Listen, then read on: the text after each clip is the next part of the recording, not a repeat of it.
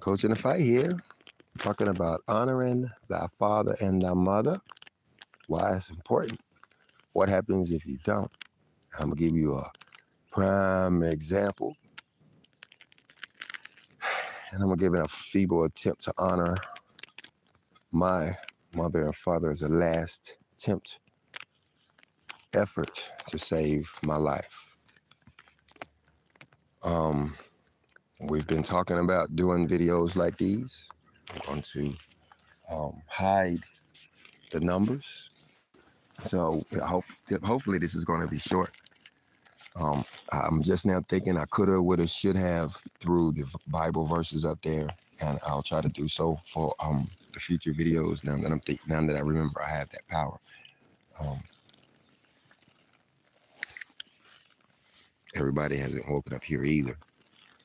But I wanted to tell you guys why I think that I personally am going to go away in this event that people call the rapture. Why people like me in general will die in these first events. Why you people will be wondering. They say, "Well, why did Coach in the fight die?" I think I, I think I know why. I'm looking over there, and the light is literally shining on my grave right now. I'm sitting by the altar. And this is what prompted me to start this video right now, because it wasn't even that close. It's almost almost dead on it now. I'm sitting by the altar, facing to the three degrees towards the temple, three degrees. And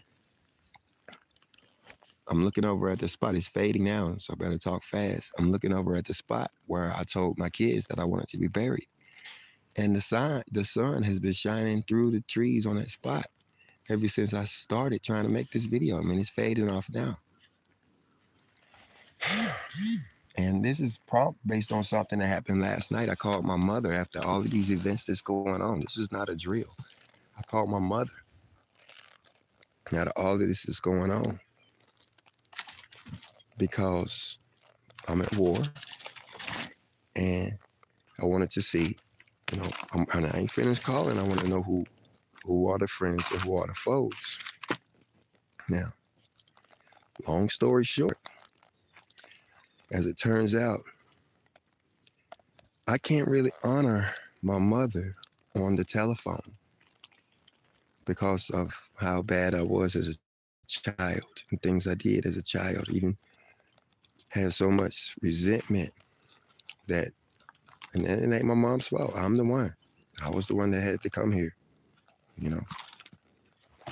My mama was, she tells me that she was 15 years old. And I'm jumping a little ahead, but I'm going to roll with it.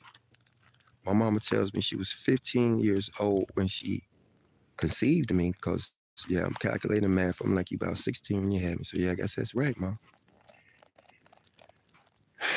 Her mother had died when she was 12. And my sis or my mama, sister mama, um, has, if I'm not mistaken, 12 siblings, all by this mother who died when my mother was 12. And my mother's in the middle group. She's one of the older ones, if you know what I mean. So you can imagine. And then when she she talks about her grandmother who raised her and and my grandmother was an awesome lady too. But I'm sitting here remembering just now that that lady had 12 kids of her own. Could you imagine this house? Whew. Anyway. So my daddy, he has a gambling habit. We're gonna get to him in a minute we're gonna honor him too. And so my mama has to do this struggling kind of stuff to survive. You know, we went down to the train tracks because we needed oil. And I'm gonna tell you, it's a whole lot of stealing in this story, but hey, it's a time to steal.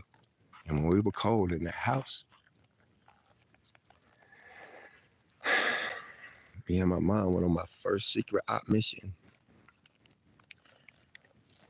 She taught me, she taught me well that all these big locomotives, son, that's here running up and down carrying all this coal that we need to put in this fire, but we can't yet afford. When they stop, you see this little flat right here has a bunch of oil in it. Let's put some in this bucket and take it home and get some heat going. My mom was no joke, y'all. Me and this lady walked the creeks looking for some weed called watercress. My grandma didn't even know what it was. He had to have something to eat. We walked the creeks, we parked, we went up, she drove our car. My mom don't say nothing. She, she don't, she, when she on a secret, I miss you. She's silent. You do not what's, know what's finna happen. When my mom will get quiet, and she usually is, unless she mad. or whatever. Now, you riding along, bumping to the little radio station. All of a sudden, the car stops, and you're like, "Oh, here we go." Door pop. You know what time it is. You better be standing at attention when she goes. She go when she turn around. She go look look at you eyeball to eyeball. Some secret signals coming in. Cause when she take a left, you better go left, or better go right to stay with her. Because when she head down that hill, and if you ain't close enough behind, you might get lost. Because we got to go down the hill, across the tracks, to the creek, where the watercress go. Because we ain't got nothing to eat. I ain't picking on my dad now. I told you I'm to get to him. Gonna get good then. Yeah, I mean, I wonder where half this stuff come from. I'm gonna have this stuff I was born with. I deal with DNA, I ain't picking on my daddy. I'm talking about I'm honoring my mom and what she had to do for me to eat. Me and my sister.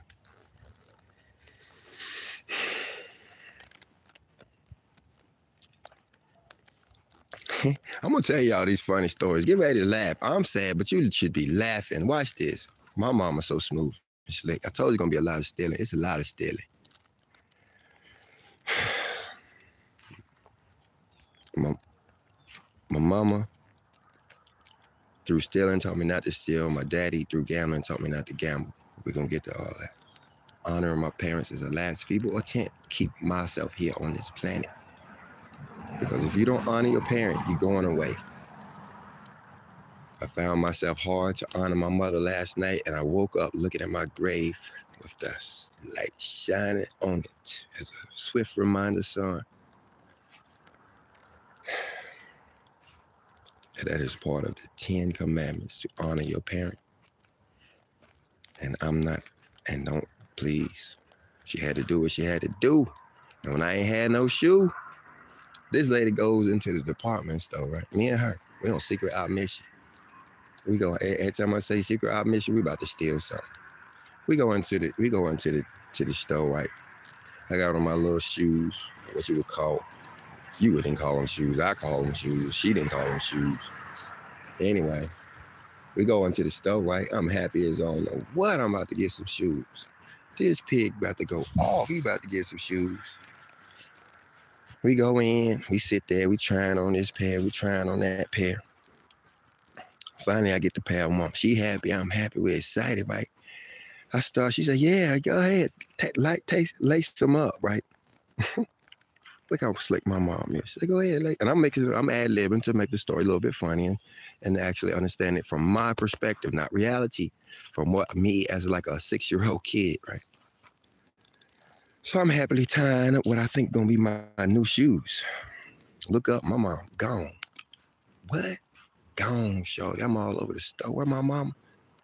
I found my mom half a block away walking. Now think about that for how slick is that, y'all? What they gonna do to a six-year-old kid can't find his mama? Hey, I used that trick too. Again, when I got caught stealing a candy bar about five years later, a lady came at the store and grabbed me and said, Hey, where you going? I say, You see my mama? And she looked around for my mama, and when she looked back for me again, I was gone. I told you, my mama taught me well because she had to. My daddy, let me let me just mix it up. No, I don't know if I could do that. We're gonna do it one at a time. In case one of them listen, they don't want to hear about the other one. My mama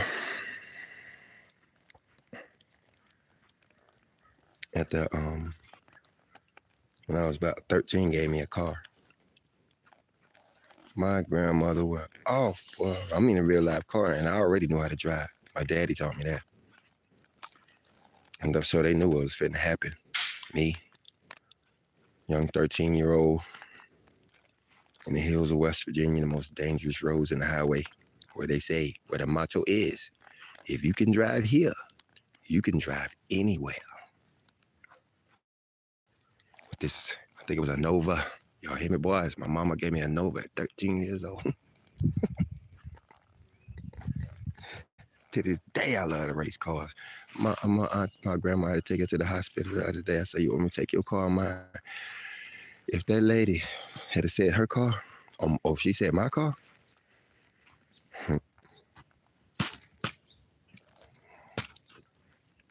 It'd have been a fun day, but she said, "Oh, old car ain't got no need some work. Your car needs some work. Why is it shaking? Why want to get up to 80 miles per hour when I mash it straight to the floor? What's wrong with your car, lady? I love to race, and my mama gave me a Nova.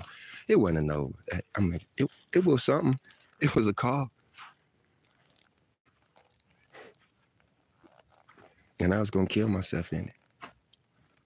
But she was generous like that. Praise our Father in heaven. I had a grandma that could actually see my house from across the highway. Yeah, I wouldn't believe how, how, how this place looked. Oh, anyway, I would say almost a half a mile away across the uh, creek, the train tracks, the uh, road, the church, back up the hill, about a half a mile away. My, my, my grandma wanted to, she could take some binoculars and look through my window and see if I was asleep or not. Just the way it it was. So she sat there and looked at the car in the yard, sitting on her porch, going, "What's that, son? Oh, that's my new car, Grandma." Okay. I never got to drive it. Anyway. And that's my fault for running my mouth. She probably said something like that, probably told me that too. Got my bike, so my mom said, You better go down there and get that bike boy. I said, okay, mom, I get it. She said, you better go down and get that bike, boy. Okay, mom. But it's gone. Mm-hmm. My mom that bike down. We stood there. We went all the way to the court. If it wasn't for such a corrupt, corrupt court system, I would have got my bike back. Me and my mama, we went on a not so secret op mission, and she hunted that bike down. Guess what she found it at, y'all? Guess what we found it at, y'all? Me and my mom. Brand new red bike that I got for Christmas. We found the dude in the fire department. I'm gonna talk slow so you can hear me now. We found the dude in the fire department scratching off the serial number. We went right next door and said, hey, they got my bike and, and they came over there and said, we can't tell because it ain't got no serial number on it. And my mama walked back home. My mama taught me a lot of lessons. She's just a little mad at me right now and she's fussing and she won't let me say I'm sorry for anything I did and I am sorry for everything I did. And that's why I'm gonna die because I can't honor her, because I can't tell her. You call her on the phone and it's like, dot, dot, dot, dot, dot, dot, dot, dot, dot, exclamation point. Let's move on. She can't say nothing now. She can't say, oh, but you did this and oh, but you said that. Oh, I might have, mom, but I still love you. I still do anything for you. Then I show you that the last time I came to your house, I honored you by doing what the Bible says and repaired everything. But we ain't talking about me. No, no, no, no, no, sure. No, I'm the bad boy who can't keep his mouth closed. And my mama had to tolerate that when I was growing up because I couldn't keep my mouth closed then either. And my mama had to tolerate that and raise me. And guys, if she didn't, you wouldn't be listening today. For, for my mama, you wouldn't be listening at all. But they don't understand. My mama and I, we, my, and my sister and my dad, we go a little bit harder than everybody else. Regular people get around us and back up because they think something about to happen. You know what's about to happen? One of us about to get tired and they're gonna say, oh, we're gonna pick this up later. And they're gonna say, love your son. And I'm gonna say, love your mom. And they're gonna say, you still coming to dinner? And I'm gonna say, yeah, mom. And all that kind of stuff. And these folks like, what just happened here? We look, man. Some people have to be born a little tougher and born in a little. I mean, if you got a nice little household and y'all sit around the table. Mm. My mom is beautiful. Check this out. Funny story, right? Images, images, funny story, right? So they never had a picture of my grandmother, the lady that died at 12 years old. They was like, nobody ever got a picture. Nobody got a picture. Da da da. No, the picture. Da da da da da da. But I'm doing a family history, and I find them old old aunties. Got all them old old photo albums that they don't let nobody see because they know every time somebody look at the picture, a picture comes up missing. But I gained her trust and she showed me, and what do you know? There's a picture of my grandmother that don't nobody know exists.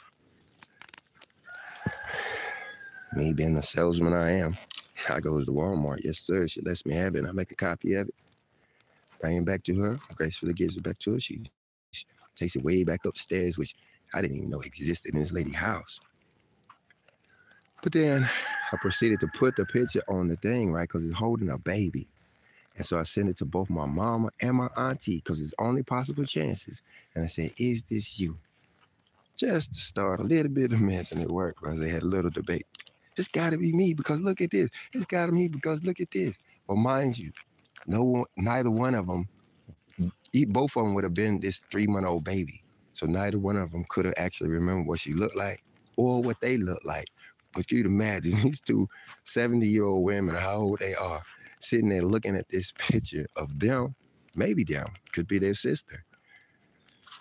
There's a two or three month old baby and a mother that they ain't seen since they was 12 years old. And they trying to figure out which one of them is which. Yeah, I know how to drop bombs. Kind of like it. But anyway, back in the idolatrous days. Beautiful picture. If you did my mama, but you don't know my mama, boy, my. Uh, anyway, that's what pictures are for. Because that ain't my grandma. Anyway, we ranting now. Okay, let's get back on track. Honor my mother. So, guess what she did after 14, y'all? This lady moves from the poorest country in the United, poorest county in the United States to Washington, D.C. Been there ever since. Can't tell you all your all her business because she basically hit the lottery on real estate. Anyway. So she goes to DC and now she on a secret ops mission. My mama, beautiful as she is, literally kidnapped me and my sister from school.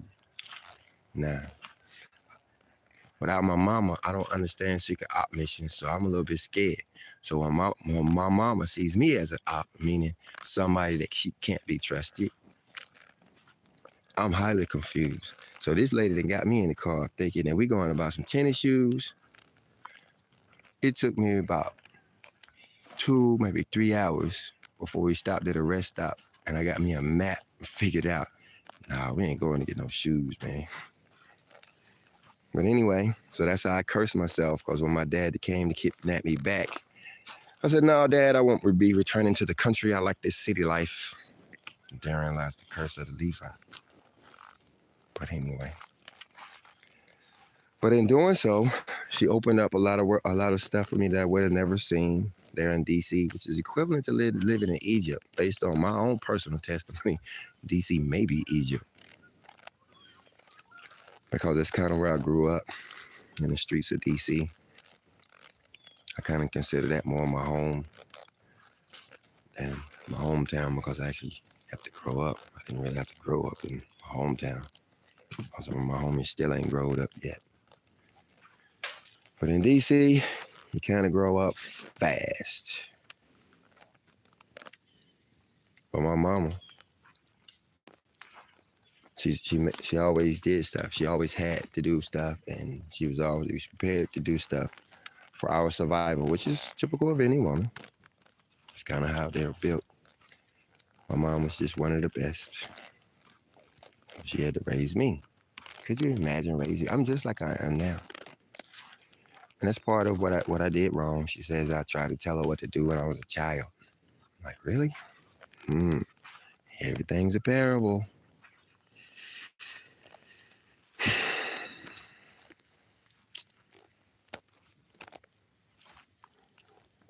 I don't dishonor my parents. She says that she says I dishonor her by acting like a daddy and telling her what to do.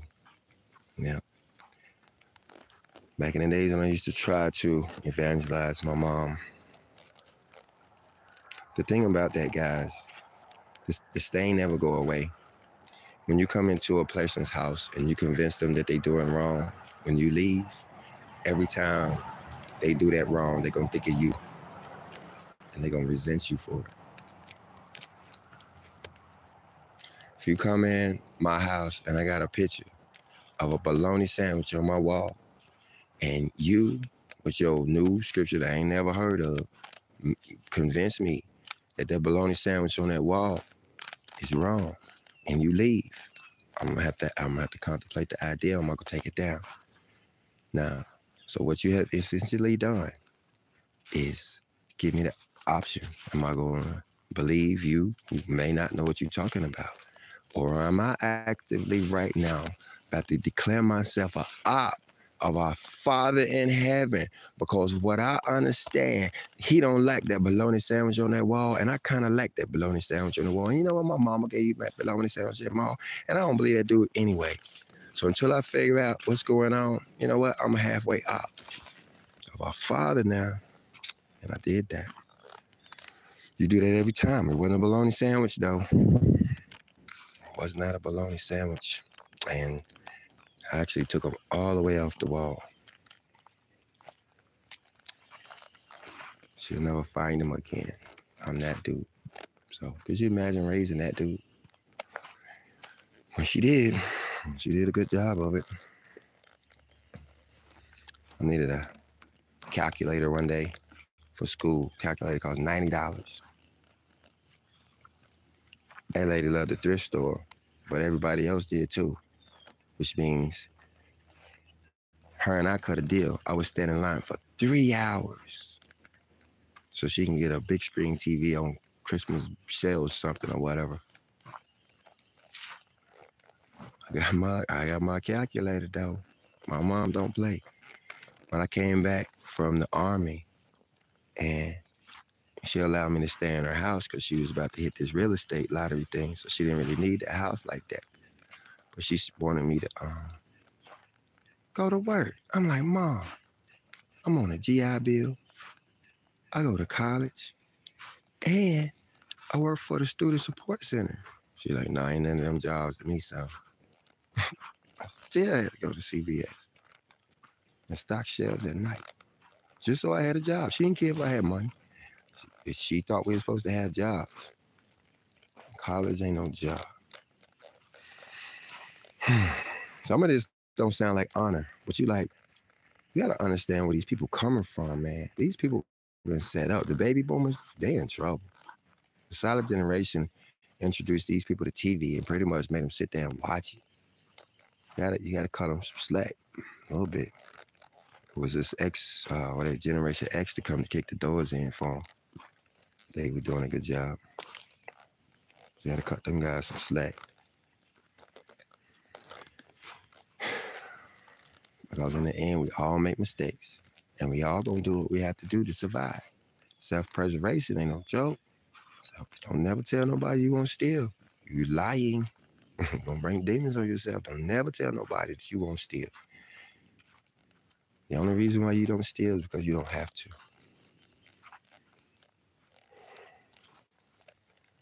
feel blessed and go do charity for somebody that has to.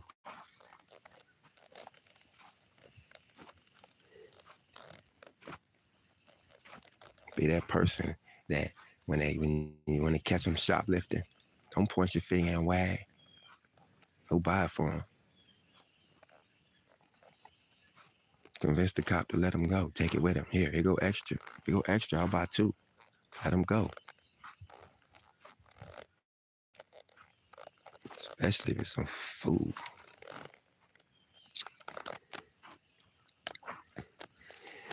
For me to be like this, I had to be I had to be raised in that house, so I don't I don't zip my mama for nothing.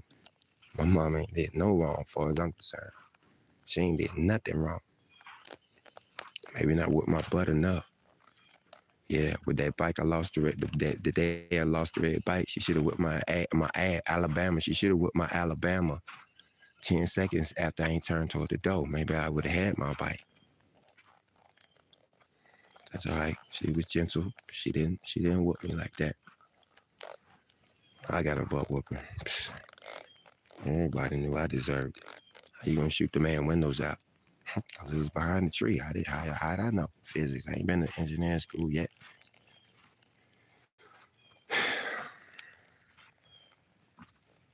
I did some of the dumbest stuff. See, I didn't have a, I didn't have a cloven hoof growing up, so I didn't know the difference between right and wrong.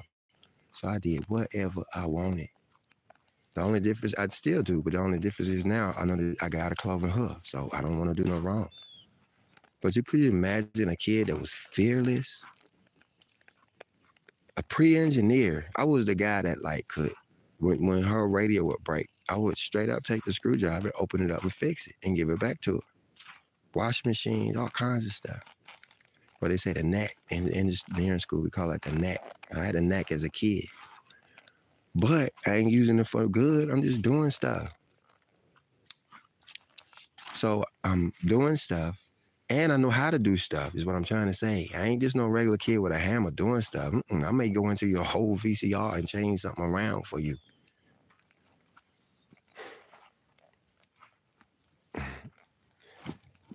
And I'm fearless, which means I will. I have a high tolerance for pain, which means it's gonna take a lot to convince me not to do it again. I think I know everything, because I am who I am. I was built for this from day one. Some of us come out like this. What else? And this lady had to raise me, and she did. I mean, I'm here, ain't I? I bet you what. She a little bit wavy now because of these spirits that's on the world. I can't fault her for that. If you understand how this all works, I'm probably part of the problem, reason why it's like that. My mom was a high school dropout. She dropped out of school because of me. But then she went back and got a GED, then went on to college. Graduated with honors.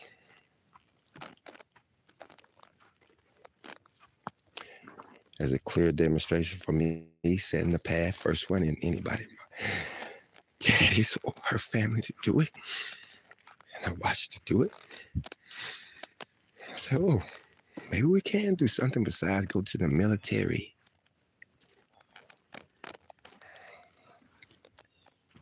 She used to put books in my hand.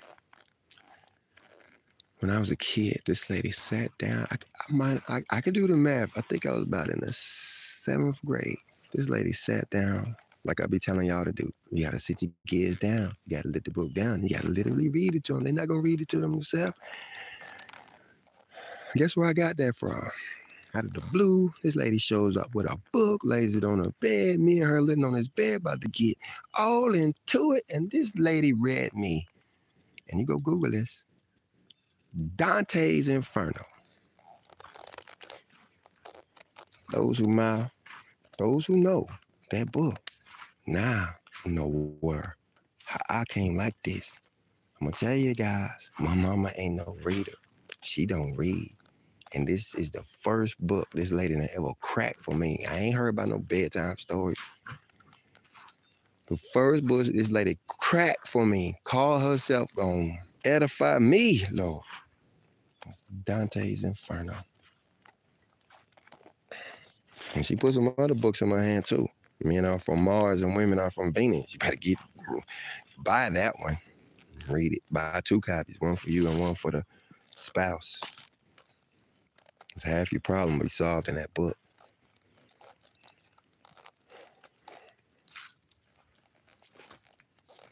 That's who my mama is.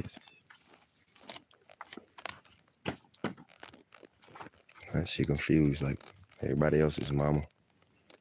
But that don't mean she doesn't deserve honor. And I do honor my mom. God, you guys don't know, man. I honor everybody. I try to. Listen to my channel.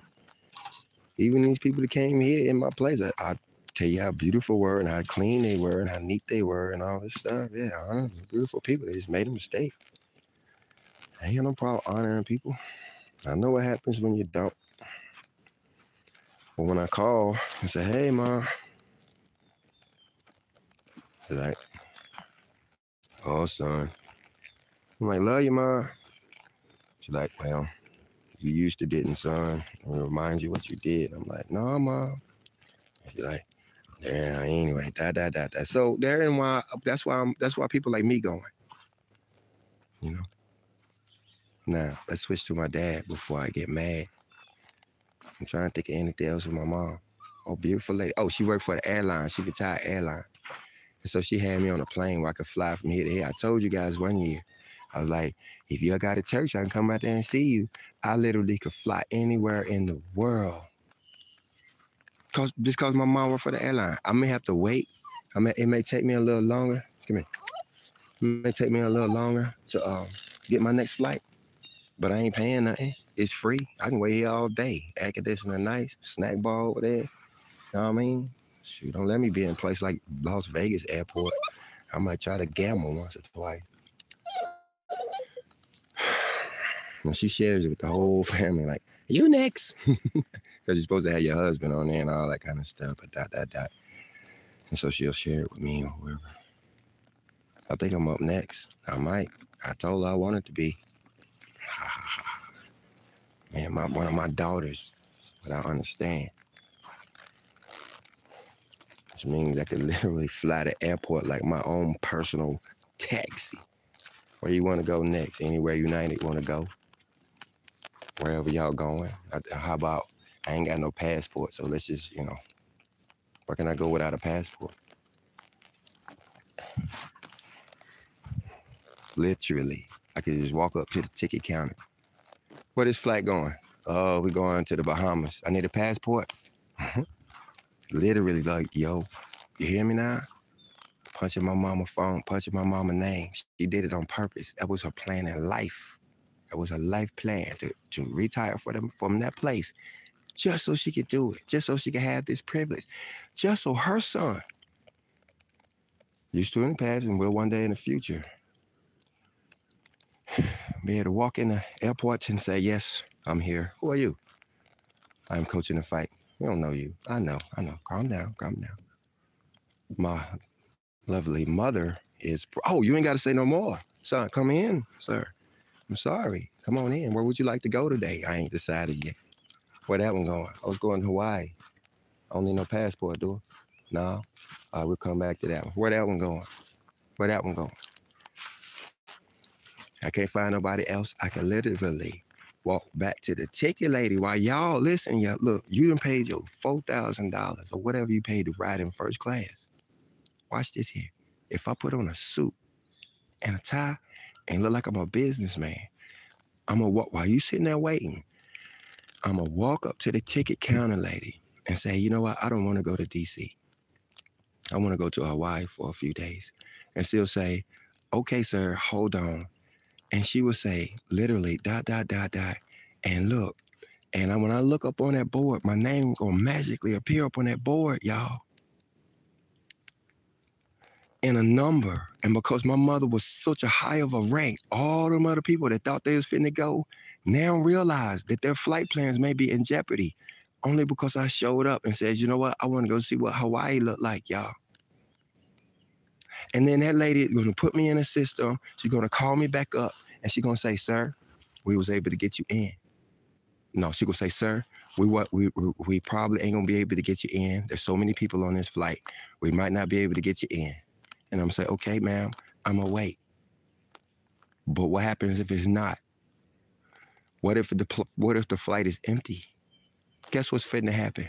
Because I got a suit on and there's empty seats in first class. These people, yo, are about to take me straight to first class and set me down. And they about to serve me wine, anything I want. Food that you don't even get to see back there. You paid all this money for this ticket. You don't even get to see the food I'm eating. I ain't even reached in my pocket to show nothing but my identification to show that I'm related to this woman. She did it on purpose, just for that, just for that day, just for this day. She, she came down to visit guys. Guess what she came? I, I said about it, thought about this. And this is funny. Y'all gonna laugh. She does this to the whole family. She talked about how she did it before. And she asked, she said, Did y'all get that package I sent? He's like, Yeah, we got it and all this. She's like, Yeah, I sent it all over the data, and none of that. And people start asking before I get it. None of that. I said, You know, I'm to buy it again. And I, you know what? I'm to go buy it again. Do you know this package arrived when she got here? And it took me a week to realize, you know what she did? She just jumped on a plane because she was going to leave the next day. She just jumped on a plane to come down here to see her package arrive and to make sure it got here and see what we did with it. Do you know what was in the package, y'all? If you're breastfeeding, you're gonna drop that baby. She came down here to personally, she she she got united, she retired now. She don't work for them no more. She didn't invoke the power of the United Airlines to Air Force 38 herself in here to escort a big box of toilet paper. You hear me? It's my mama, yo. 90 rolls of toilet paper. She made sure she saw where they went before she got back on that plane and went back home.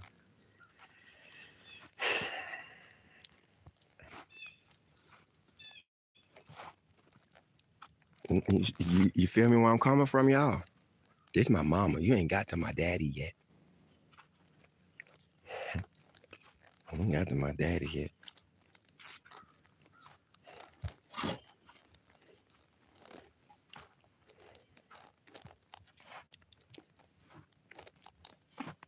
When we went to Vegas to see my see my uh uh granddaughter.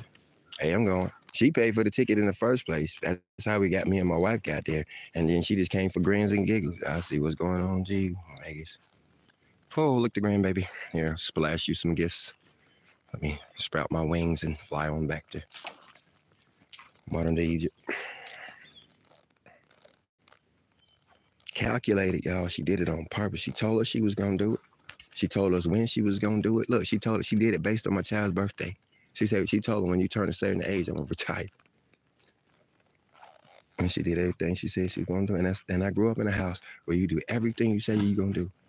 If you say you're gonna do it, my mama say you're gonna do it. She gonna if she says she gonna do it, she gonna do it. If you don't like what she says you she gonna do, you better move. You better get out the way. You better stop doing what you're doing. Because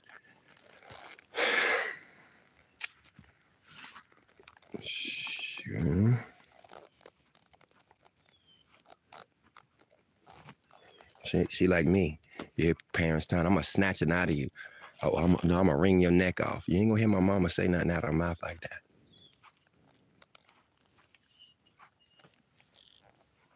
Mm, if you do, you better sprout like a chicken and cock a doodle do your butt on somewhere else. We don't see what a, a, human do when you wring his neck off like a chicken. Do he stay in a circle too? I think he do. My guess. He gonna stay right there in that circle and he ain't gonna come out.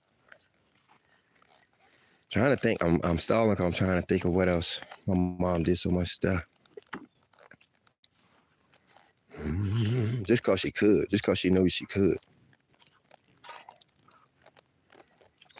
Mm-hmm. Mama's name was Patsy. They grew up calling this lady Patsy. I'm thinking about that, y'all. This lady was in college when she looked up what the word meant. Call her Pat now. Except me when I get angry.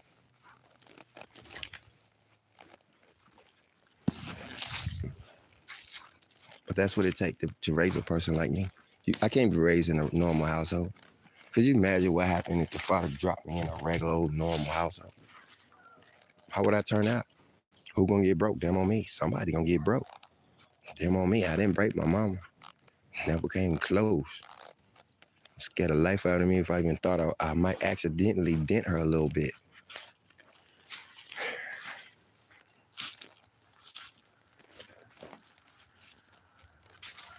Then my dad. Now, this dude, I believe that if I wanted to, I could move my whole family to West Virginia, back to the county where I'm from.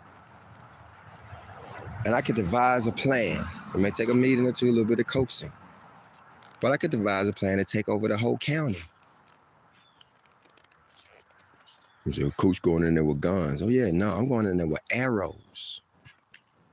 You gotta understand. I'm a junior. The head of our security on this place is a third. Our IT guy, our engineer, I slid his name in there. Two. I slid, yeah. So it's in there in a middle name. So you could do that. So you have four people who technically have this man's name on a birth certificate, right? But watch this. My dad is known by everybody in the county. He, he was the meter reader back when they had to meet, read your meter. They don't read your meter now. They use computers and sensors and stuff. You never see this dude. But back when I was in high school and I played hooky, and my or my dad had to do something, it was illegal for me to ride in his truck. So I would have to get down in the floorboard of the truck, and he would pull up at the at the at the neighborhood, and he would get out there and he would walk house to house, not door to door, but pole to pole, and he would literally have to stand there at your light pole, that little thing out that ticket, and we would have to read those numbers and write them on your card. They would have to go take them and turn them in, so we'd find out how much your bill was. This man knew everybody in the county. He had to go to everybody's house. He worked there for, he retired there. And they all loved him and they all respected him. Friend, and they still do. Friend and foe. You hear me now? Friend and foe. Even his enemies love him. They don't know what else to do with him.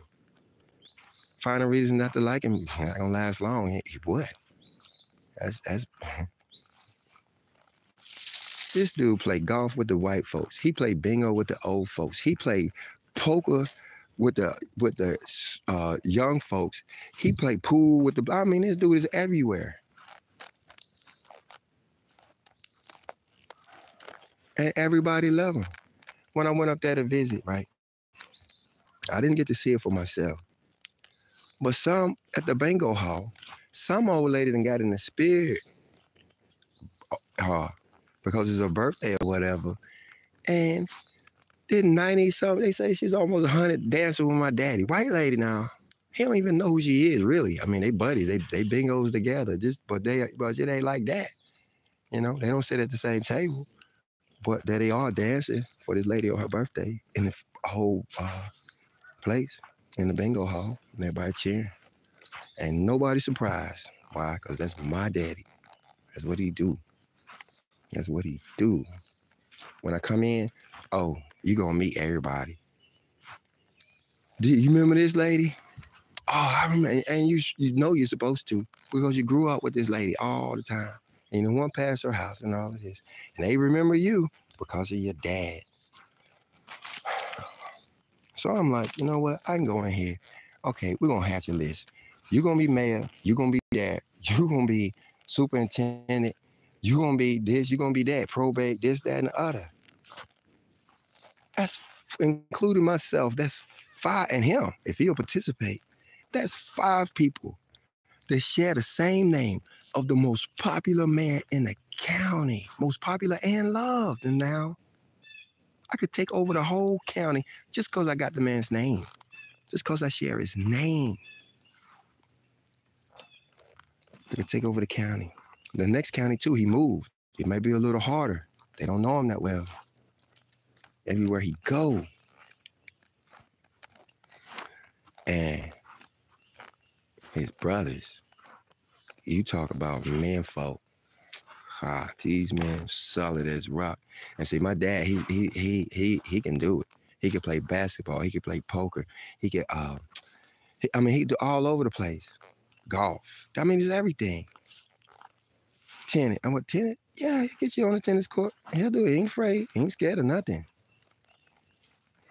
One thing he don't play is chess. Guess why he don't play chess? Guess why I think he don't play chess? And I was sitting here, I was thinking about this video, thinking about my dad. I'm like, this dude get on the basketball court and drill your lights out for fun. He the dude that stand back because he's short. And he the one that stand back and just straight up drill your lights out. He from the basketball capital of the United States. Norfolk Blue Demons, well, we know basketball, and he know that he don't come in the hole with people like me. Cause I'm straight up gonna foul him at least. Mm-mm. I can't even get back there so far back there where he at, and he about to straight up drill your lights out all day. Number net, number net. Who passes him the ball? His brothers. But he don't play chess. Why? I think it's because he don't like taking L's. And when it came to chess, he couldn't he couldn't stand his brother, especially the one that taught me. The younger brother taught me. And he didn't mind hurting your feelings and then coming back and teaching you why he hurt your feelings and then giving you another lesson to see if he could do it again. I did. Mm-hmm. And I don't think my dad could stand the fact that his little brother can whoop him and do whatever he want to, pluck his pieces across the board, and he didn't like that. And I think he knows how the game is played, but I've never played a game of chess with my dad. But he has always looked over my shoulder as I destroyed every opponent that stepped before me. Is that one? It's because I was distracted. And I wanted to let my uncle win anyway. Throw out that zero goose egg at the end. Get a little boring. You ain't know, huh? No, it was your little brother that taught me. He taught me, the one that's deceased and passed and gone now. Yeah, he the one did it. And so my dad, I think to this day, that's why he won't he will not play a chessboard, is because he couldn't beat his brothers. Because every one of them was better than him and me too. I guess I sealed the deal when I came out, ready to pluck his piece across the board. my dad don't take the hell. He don't lose. He don't lose. I can imagine if I ever found my dad in a losing situation, the second he realizes it's a losing situation, he's gonna pleasantly excuse himself. And you're not gonna see him no more. Not until uh, another, uh, another day, if you know what I mean. It's just over. Quiet and gone. And that's how you do when we in the room talking. And we talking scriptural stuff. Ain't no debate. I know when he I know when he heard me, he excused himself quietly. You don't see him for a while. When you come back out that room, it's a brand new day. This man saved my life, y'all. They was down here, they was on me. They was on me. Like they doing now. They sending all these attacks ahead, but see back then they thought I was disenfranchised. I don't call in favors. I don't call in favors. Because I know I'm gonna need them one day. Yeah. All you guys owe me some favors too. I don't call in no favors until I need them. I know what's what's coming. I ain't wasting no favor on no bologna sandwich or whatever, or or nothing. But one day I needed a favor, and I called in some help. They seemed to thought I was disenfranchised, like I was the only one even saying stuff like, all this Bible stuff, that's why your family don't like you. All your Bible stuff, that's what your family don't like you. That's why they don't never come to visit you. I'm like, no, they say they live too far away. They say I'm way down here, they don't like to drive. Uh-uh, that ain't it. That ain't it. And that Bible and this, that, uh. They was getting me. They was getting me. They almost had me. They almost had me. The Lord put it in my heart. My Father in heaven, hallowed be his name, to call you daddy. I said, Dad, I need some help. He said, What you need, son? I said, I need you to come and get me. He said, Son, I can see your bus ticket. Da, da, da, da. I know, sir. No, no, sir. No, sir. This is different. I need you to physically come and get me. He said, Son, I'm on the way. I'll call you back. I did not hear from this dude for months. Like two months. I forgot The whole conversation. Things halfway got better around here. Halfway now. Got better around here. When he called, I wasn't here, and my wife answered the phone. Could you imagine my surprise when my wife wants to know why is my brother and my daddy on the way down here? I told her they coming to get me. What you talking about? Pack my stuff. I'm leaving. What you talking about? He came in just like I knew he would. Him and my brother. I wanted to let these people know I'm not disenfranchised. What I'm doing is a choice. The same way when I was homeless in DC, I tell you I was homeless. I didn't have to be. My mother lived in DC. My auntie lived in DC, and I had two uh, two other aunties that lived in DC who wouldn't mind me sleeping on their floor too. I walked past these. I went and, and sat lunch with these people, asking me, "You know, you ain't got to go back there." Yeah, I know. You know, you ain't got to go back there. I know, but I'm going. It was the principle of the matter. So I don't call in no favors. And when I do, when I call my dad, just like I knew it, came in like the cavalry, ready to kick in the door, ready to grab my brother in tow, pick up truck and all, ready to go. Load up the truck, son. He turned to my wife. He said, What you need? She said, I don't need none. She said, Yeah, you do. Here a few hundred dollars. Dropped it on her, took her to the store, bought her stuff, he, bought her whatever she want uh, graciously stayed an extra day because this man is ready to go. He came on a rescue mission. He didn't even plan on brushing his teeth. That's what the brother was for, extra drivers.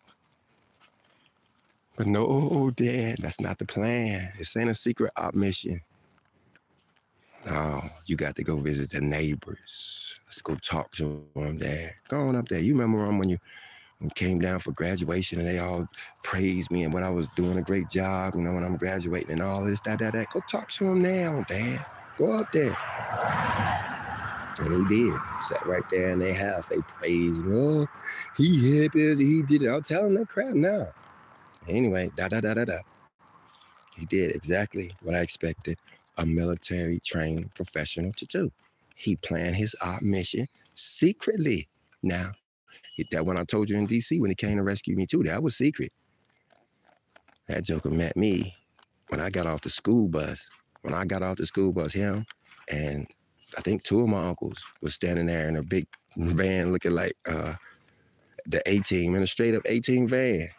My grandma had an A-Team look when I'm shaped A-Team. and have the um, colors on it, but that's the shape of it. And when I jumped off the bus, and just like the damn A-Team, the door rolled open, and there was my dad and two of my uncles ready to pop. All military now. These military men on secret op missions to get me. Y'all understand, man? Come on, some people, some people have to be trained for this kind of stuff. I never knew he was coming. My sister was already in the car. He had already scooped her from her school. He was just waiting for me to get off my bus. And he was sitting there like the A-Team just waiting. Me, not, not I ain't got a clue what's going on. About to go in here and get my lesson. Babylon, Egypt. I'm in DC, baby. Chilling. I'm, I'm good. Hmm, you don't know. These men don't play. And he, and he looked me in the face. They came to get me said, I come to get you. I said, Dad, I don't want to go. And that man Christ, my sister said he cried all the way back down the road. My sister said he cried all the way back down the road.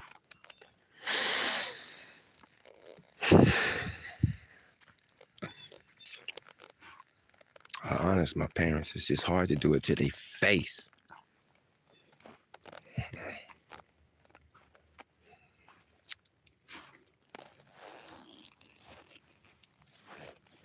Gotta honor your parent and seed. I'm trying to think. I'm trying to think. You know, my true colors gotta come out. All the, the, the, title of this video, Why Coach inthefight is Going to Hell, is what it should have said. Honor the parent thing. It, it hit me, guys. If you just tune in, I tried to call my mama last night, and I woke up looking at my grave site. And it dawned on me. I could go away for this. Out of all the stuff I done did because it's so hard for me to honor my parents. Let me think about my, oh, oh, oh, we ain't, we ain't got to that part. It's part three. Still think about my dad. He is he is way more responsible. Well, no, no, no. Nobody's responsible for the way I turned out. That's um, our father's plan. But, you know, for me to get like this, certain things had to happen. So he had a lot of play and a lot of stuff that I'm not going to mention because I can't find a way to honor him in it.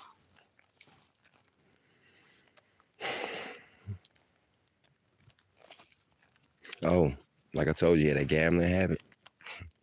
Guess I he taught me not to gamble. See, I don't gamble. Like Coach, I heard you talk about Texas Hold'em. Texas Hold'em is not gambling. If you don't know, get some cards. I'll show you. Get a few pennies or rocks or whatever. I'll teach you in about whatever, however long you want to take. Texas Hold'em is not gambling at all. It's calculated, way calculated. Not only on a mathematical level, but a human level. You have to read the people too. I love that game. And if it wasn't for my daddy, I would be, I would be probably gambling right now. Because my all of my family, they, that's all they did. My grandma, all my uncles, and on that side of the family would just sit around the big table. That's all they did. What else was they gonna do? Nobody really watched TV and all of that. And all to do. Sit around and play cards. And they'd always start off nice, playing spades, and us kids would want to join in. They'd let us every once in a while, but then it turned into poker, and the coins would come out, and we'd go play. And so when I started getting a little older and start looking at that table and start wondering about my own little pennies. Yeah, I'm about to get in here with my uncles and aunties. Let me tell y'all, I went to Las Vegas one time. I went, oh, I actually went to Vegas twice. The first time I won, I was a calculated effort to, to come back to say I won in Vegas. Really, I won $40. Once I got my $40 was over. Get on the plane, let's go Second time, I'm, I'm gonna get a little bit out there. And this lady sat at this table and picked me apart this old little short little Italian lady with all her big broody looking Italian sons or nephews or whoever these were. Look like I was sitting at the table with the mafia. But it was the old little lady that took me to the clinic. It reminded me of my auntie. And I'm thinking, you pretty slick, lady. You pretty, I would tie you, I would put you again head to head with my auntie and I would love, I would pay, I would, I would videotape, you know, the cards or whatever, so people could see. Cause this on YouTube are you two are good. But one thing my auntie got way better than you, cause she's a little bit slicker, I would think. Or maybe not. Maybe y'all equal as far as your, your poker skills. But my auntie wouldn't have hurt your feelings. She'd have told you she was gonna do it before she did it. You wouldn't have been surprised. And then when she gracefully took your money and realized you ain't had none left, guess what she'd have did? She'd have dug in her big fat pocketbook with all this extra money. She'd have set it up on the table. So hang jang, it'll it'll bounce the stuff you drink with a splashed. And then she'd have dig in there and she'd have gave you some more money. And then she'd have took you back. And she'd have sat there all night doing that for you and teaching you and teaching you. So when you meet up with the little Italian lady that you think is slick and smooth and like, yeah, they only get you once. They only get you once. That's her. That's my daddy's older sister. I can honor her too. I can honor her on a higher level. She taught me on a higher level. Higher level, but we'll save that for her video.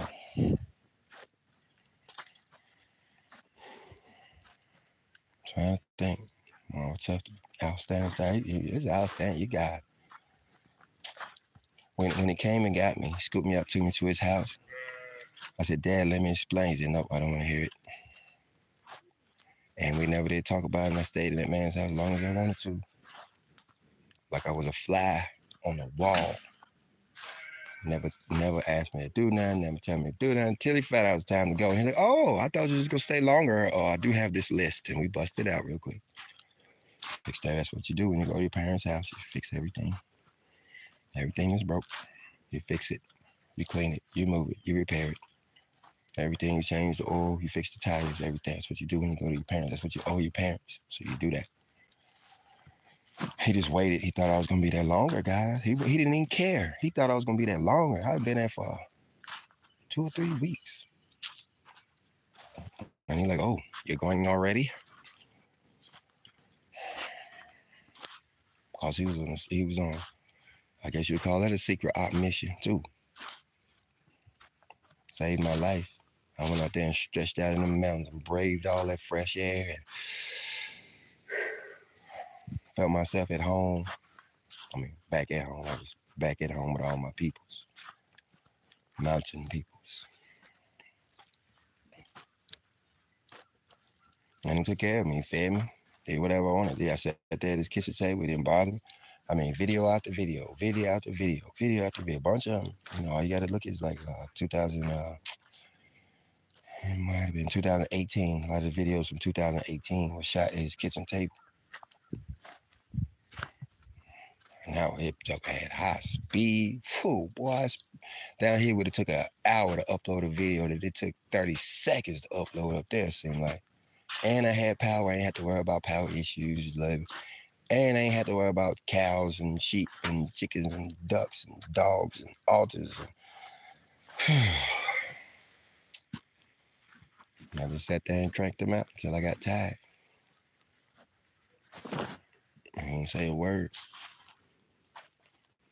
Did so much, didn't so much as ask me to take out the trash, or why I was there, or how much I was gonna pay rent, or nothing. I told that man that my life was in jeopardy, and he said, "Hold on, I'll call you back."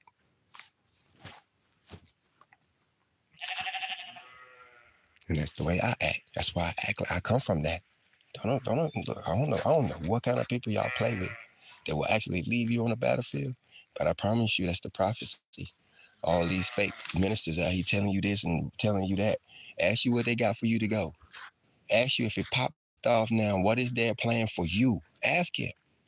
Get in the comment section. Say, sir, I like your videos. I've been loving them and listening to you for a very long time. I know you don't know me, and but I I, I really love your videos. I've even supported you a few times, but I, I that's not what I, I want to ask you a question. Me being your follower or just you know associate listening to your channel, looking for a place to get spiritual enlightenment from. I was just wondering, what is your plan for your followers? When a blue streak goes across the sky and all of the airways go dead in complete silence as we wonder what the heavens just happened. When you graciously part the airways and part your lips to tell your people what to do next, sir, what do you plan on telling them to do? put their Alabama between their legs and kiss they, know, put your head between your legs and kiss your Alabama goodbye. Yeah, the prophecies, they all gonna run on you. They all gonna duck and cover, and they all gonna hide to protect their own selves. It ain't about me, guys. But I'm landing on the line for you and honor my dad. And and and here, here's a way I can honor my dad. Here's a way you can honor my dad. Here, you can say your dad is cool at all, grace and all he did. But how about since your dad ain't using that no more? How about I go ahead and save my family over there? Do you hear me? I got something for you. When you call me up and say, "Hey, coach, I need a place to go," I'm gonna say, "Where you at? Where you at?" I'm gonna find out how far you go. You know, you're gonna tell me your coordinations. I will calculate my closest uh, uh, uh, refuge joint that I know about that you can get in safely until we get you to a proper place where you can start rebuilding your whole life, the the Bible way. Ask your Barry Vanderlanes if they can do that, while they running their mouth. But you know what happened, y'all? Part of the reason that, that I'm and I give credit to my Father in heaven for all this too, because He the one led me to the idea of buying them tax properties. And I bought too many of them. I couldn't really handle. I ended up losing some of them. But one of them, my dad, my dad wanted to stay in. The most important one, I think I might have encouraged him, like, Dad, there's something right here. But he he stayed there for all of them years. And while when I got back, when I lost it, um, when I left the industry, I didn't care about no bills. So a lot of that stuff went back on the taxes, except that house that he wanted to live in. And because he lived in that house, I still have that house. Because he lived in that house, I still have that house. He put a hole in the roof on it. You know what that means, people who know about houses. Once your roof go, your house go. He put a hole in the roof on it, and he just lived in it. He just lived in it. He lived in it and just lived in it. But what he did was he preserved it. Because I'm gonna tell you, he told me three years ago. He said, I'm, he said, he said, gonna have to start paying the taxes. And you know me, yeah, I'm gonna get to it in a minute. Mr. Bicycle Man. By the time I paid, by the time I did pay him, it's three years, three years late, and I owed a thousand dollars. Could you imagine if he hadn't paid those taxes for 10 years? I guess how long he stayed in that house. But the thing about that house, it sits on about quarter eight. Well, it sits at, at the whole house, the whole property sits on 12, about 12 acres total. All mountains, all trees, nothing but mountains and trees. You have the slopey mountains and trees. They use it for, they use that part of the world, part of the country for four wheelers. It's a four wheeler resort. And so my place is on the top of a mountain. But the thing about it, I drew lots of whether I should just straight up give it to you guys. Mm-hmm. Yeah, it's got a little house on it. I was like, look, somebody could come here with their family, you know, take a shower, get cleaned up, get a little bit of rest, look up that mountain, and you know, go up there and find where they what they can do up there. You know, by then, you know, it'd be other people that came before them and then already got the path laid out a little bit that they can, you know, have something to do. I was thinking the Levi's, you're gonna go in and kick the dough ins first and, you know, get the hard work done. And then the family starts showing up. It's because my dad, y'all got that opportunity, still do. Send me an email. I ain't joking. Think I'm playing? I'm in the fight, yo. and love it. I love this. You wait for this war to kick off. It's one thing to be back in peacetime, uh, crunching numbers and doing paperwork and sharpening swords and all of that. Wait till they start blowing the weapons, blowing the trumpets, saying it's time to rise up and go. Them guys be so ready to go to war. My dad is a veteran, like me, if you didn't hear.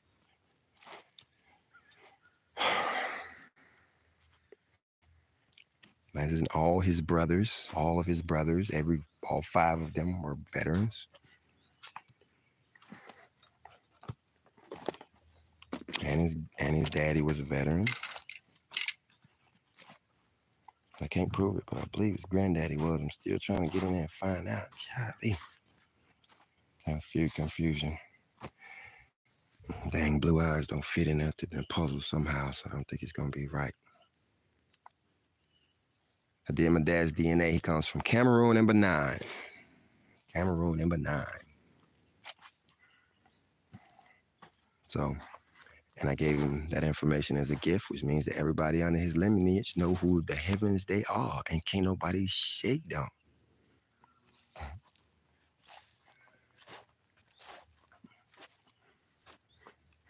Hmm. I'm just trying to ramble on as I try to think of more stuff about my dad. Oh, let me tell you what my dad did. This dude, while my mama, she just said she flying and she going across the country. She flying here and she flying here. Guess what my dad doing? This dude about a timeshare, Lord. Man, you know what people say about time timeshare is. Everybody like, ooh, Lord. No, sir. This man bought this time timeshare long time ago. And then we started to go. And it literally became a yearly family reunion. Every year, we went to Massanutten for the 4th of July. Every year, my whole family, my brother, my sister, my uncles, aunts, and whoever else wanted, my mom would show up sometime, would all show up at Massanutten. It's a, it's a resort. And do um on the 4th of July, watching fireworks all that my dad, he just laid it out for all. He like set it up and everybody would come. You know, he tried this stuff the first year. Everybody got to chip in and pay the maintenance fees. And I believe I paid him. I bet I was the only one. And of course, we messed it up the first year. We messed it up so bad they spent to throw him out. we, messed, we left that place in such a mess. They told him that they thought about removing him from the timeshare. How about you wanna you you wanna get out of your timeshare? Invite me and my family over.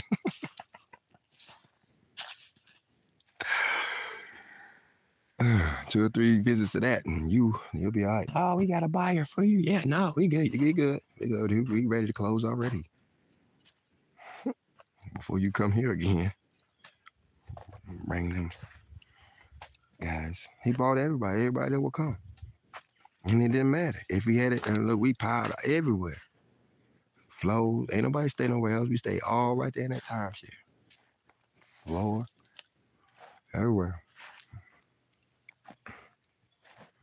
My kids, they thought it was his house. The youngest ones, the twins, they literally thought it was his house. And you know how you had to think about how you have to break the news to the kid that he has adopted. I'm sitting here having to contemplate the idea of breaking the news to this kid that knows, son, that's not your granddaddy's house. Mm-hmm. but by the time he found out where his daddy's house, granddaddy's house was, he had bought a new one, so he didn't get to get the full bachelor ad thing.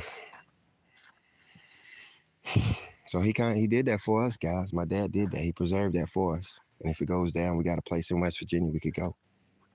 I'll tell you now, Keystone, West Virginia, look it up. It's behind the store. Behind the store. I'm like, okay, I gotta tell you, behind the store. Just look straight up the mountain. All that mountain is mine. All of it. All of it. All of it. All of it. The whole mountain is mine. I got. A, I own a mountain on a mountaintop. You know, I'm sitting here thinking, that was my dream. When I, well, even before I started this, eh, I'm, I'm gonna go off on a tangent here, y'all. Praise our Father in heaven. The only thing I am missing is the helicopter. I was supposed to have a helicopter and a Humvee. I got the top of the mountain. I literally own a top of a mountain. Praise our Father in heaven and my daddy. Blessed be his name too. I'm only missing the Humvee and the helicopter and I guess you guys, and we there, waiting for the world to change. My daddy did that for us, and my father did that for us, and I honor both.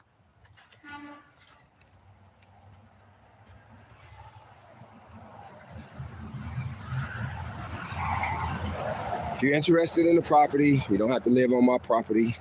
I was told not to actually turn it over to you guys outright but there are adjacent properties that actually touch the property, if you know what I mean. When your property touches mine, you have automatic access. And this, of course, I build a fence. I don't plan on building any fence. Plan on just, it'd be great if everybody had their own satellite little place where they do their own business. Nobody tell, nobody know what to do because you got your own property that you bought for a dollar. It just so happens to touch Coach inthefight's, here, or not hillbilly homestead. That'd be something else. About 12 acres of nothing but trees. Nothing but trees. Apple trees, pear trees. No orange trees. Might not be no pear trees. I better stop lying. I know it's some cherry trees and apple trees.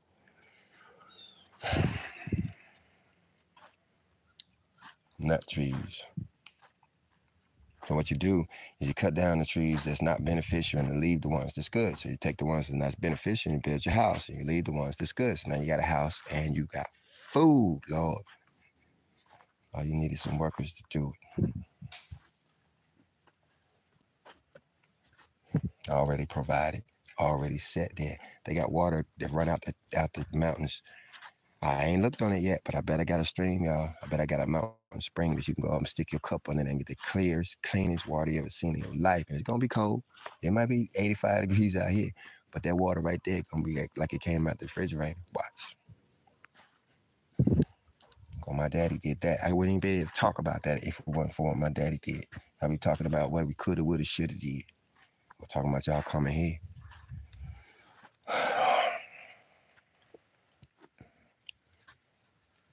Your only option. For me to help you. For me to help you.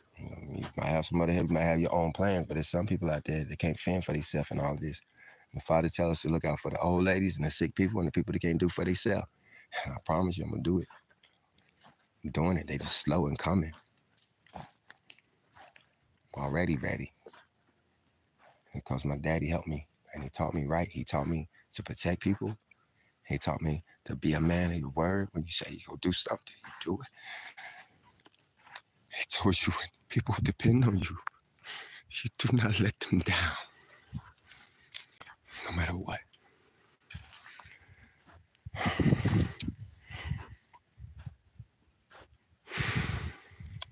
And you be nice about it while you do it. Be calm and be peaceful. You don't be racist. You talk to the white lady just like you talk to the black lady. There ain't no difference. Not at all, son. What did he tell me last time? He said, he said, son, it dawned on me. Do you know why your forefathers acted the way they did? I said, no, Dad, but I know you about to tell me. He said, son, it dawned on me. They had to. Yeah, I right. Had to do what they had to do.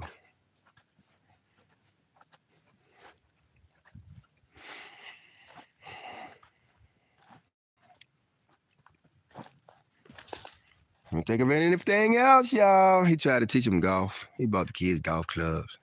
He hard-headed. And I, I, I, come on, guys, at least go out there. And, you, don't understand what's going on here. This man is buying you golf clubs. you going when he come back, you mean to tell me you can't find them? I can't remember, but I wish I was the dude that whipped him for that. I must didn't because I can't remember. But I would get him now. If that man do anything for you and you throw it in the dirt,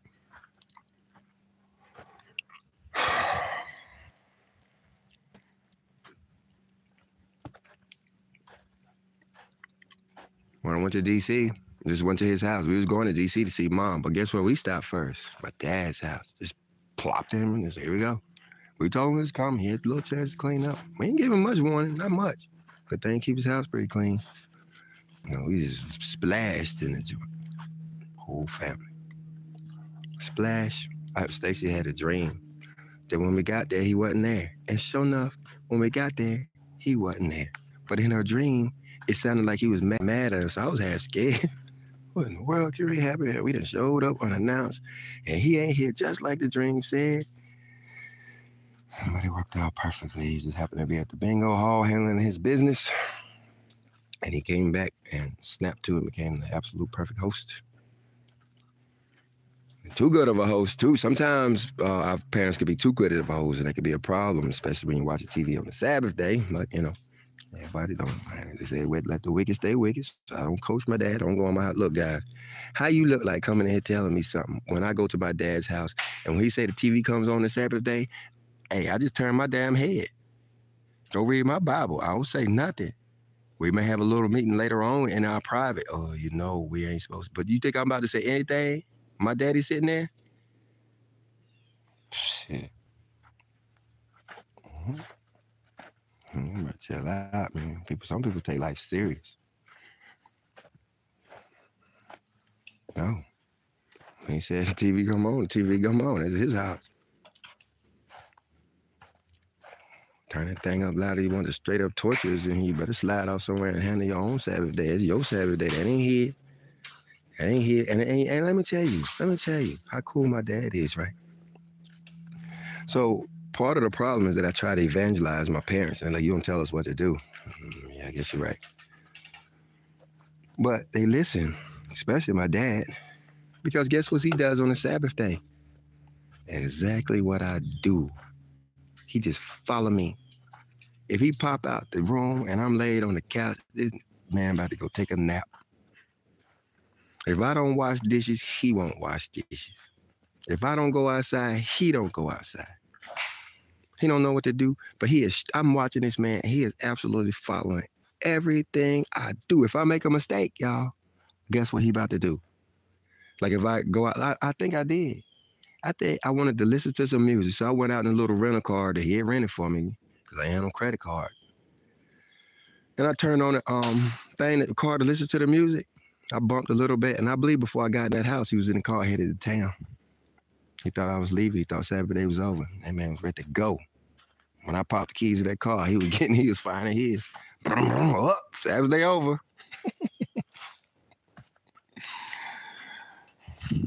No, damn, I'm just listening to some music out here and listen. I didn't want to disturb you. You was resting like you was sleeping all day to me. What's going on? You sick? No, I'm good. So I'm just here relaxing. All right, I hear you. Me too. I happen to be doing it on a Sabbath day. This is cool. I'll try to do this more often. How many parents would do that for you, y'all? That man don't believe in my man. People don't believe him. People don't believe. That Man ain't been to church. That man been a, he been the more he been to church. If you look at the ratio of the times he's been to church, funerals, not funerals, I would guess it's ten to one. That's where we have our reunions at. Our reunions are at funerals. That's where we go to church is funeral. That's where my family go to church is funerals. If it ain't a funeral, what you going to church for? That's where the dead people go. But he raised me through it. He was a Methodist. And it's because of him that I wanted to find out why there's so many different religions in the world. Wait a minute. She say she holy and you, now what's the difference? So I did a whole report just to find out the difference between my mom and my daddy. And I know now, one like the sprinkler and one like the splash. All the same stuff.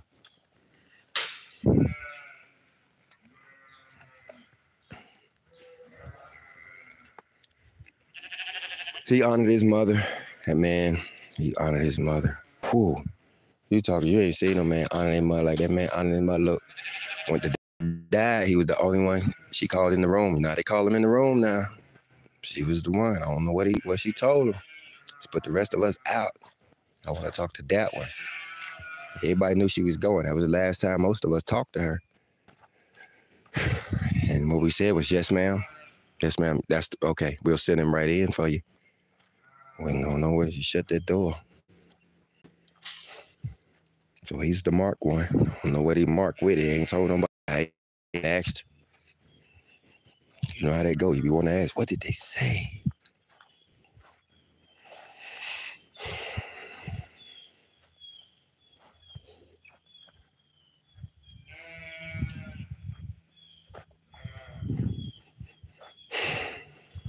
But he's a little softer than my mom.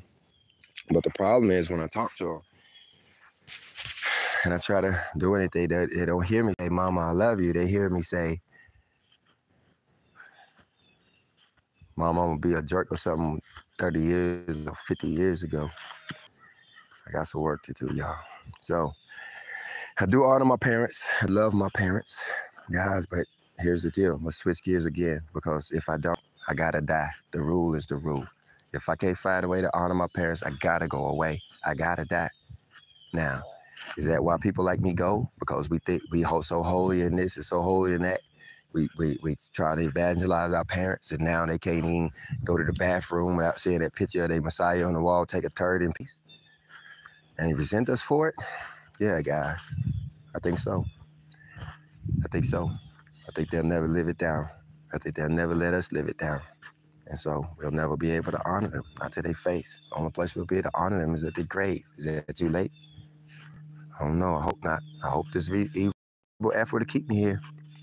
I ain't gonna do nothing to intentionally kill myself. And if I life preservation, even though I don't mind going, life preservation ain't no joke. Talk all that junk you want to. But when you wake up and when you go to bed at night, contemplating the idea that you may have just just dishonored your parent and then you wake up in the morning and a light is shining on where you put your grave site, yeah, it takes you to another place. And these are the kind of videos I think I'm gonna start putting out, guys, because watch this. I can tell you this too. Watch what will happen to me if I actually die. Don't feel sorry for me if I go, and that's the purpose of this video. If I do perish in all of this, if I go, don't be like Coach must have been the wicked. Like, no, Coach had family problems and other issues that we didn't know about, that he had to go away, particularly honoring a parent, because that's one of the commandments. We have to honor our parents. So let me tell you what's finna happen to you, Mr. Righteousness, Mr. Holiness, Mr. Tassels and, and feast days and doing everything according to the scripture, according to the way you honor it. But you can't find a way to honor your parents let me tell you what's getting ready to happen to you. What I think going to happen to us. We're going to go. We're going to die because of the rule. Rules are rules. Check this out. Because of the way it goes and the work we've done here and all the efforts we put in, we get to take all of this knowledge, wisdom, and understanding with us, right? That's key. You don't have to learn the same lesson. Once you learn the Sabbath day and the cloud of clockworks, you'll come back teaching how clock works. That's how it works. You learn a lesson and then you come back and you learn more lessons. Well, how about now? All of us people who have been working, it's hard. trying to protect our families and doing everything we can do to get them across the line into the kingdom of heaven, have to now learn a lesson on how to honor your parents. Now, I want you to think for a moment. What would the lesson plan be for a person who comes from a dysfunctional home as far as the Bible is concerned? He had everything he could in life, but didn't make it because he didn't know how to honor a parent. How do you fix that? I can't see your comments, but I bet the answer is you give them an example, somebody that they can honor, somebody that you can emulate, somebody that you can stand up and say, I'm proud to say this is my mama and my daddy. Uh, uh, no, no, I understand y'all spiritual people over there. That's cool. We brothers and we cool too. We're we gonna get up in a minute. We're talking about blood here. This is my mom and this is my daddy.